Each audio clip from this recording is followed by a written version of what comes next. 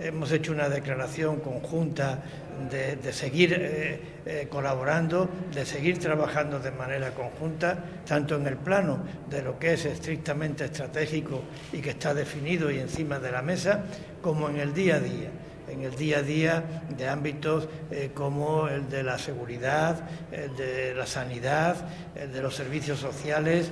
en el ámbito de la gestión de costas, en las políticas eh, activas de empleo, en, muchos ámbitos eh, que, afectan directamente a la calidad de vida de los ciudadanos. Y eso es nuestro compromiso poner al servicio de Ceuta y de los ciudadanos nuestra colaboración, nuestro empeño, nuestro trabajo en común.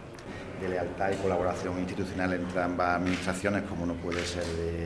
de otra manera. Y lo que hemos venido marcando digamos son tres líneas básicas, la línea de la lealtad, la, implementación del plan estratégico en nuestra ciudad que va a venir, nos va a ayudar a una mejora socioeconómica. Y después también ya hemos estado hablando sobre la,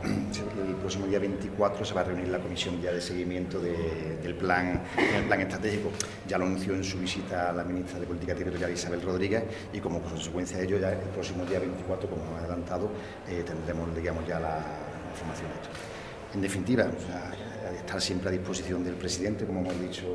dicho anteriormente, y aquí estamos para trabajar. Y los dos tenemos muy claro que hay un solo y único objetivo, que es Ceuta y los ceutíes. Y yo creo que esta tierra se merece que hagamos este, este esfuerzo para conseguir que esto avance.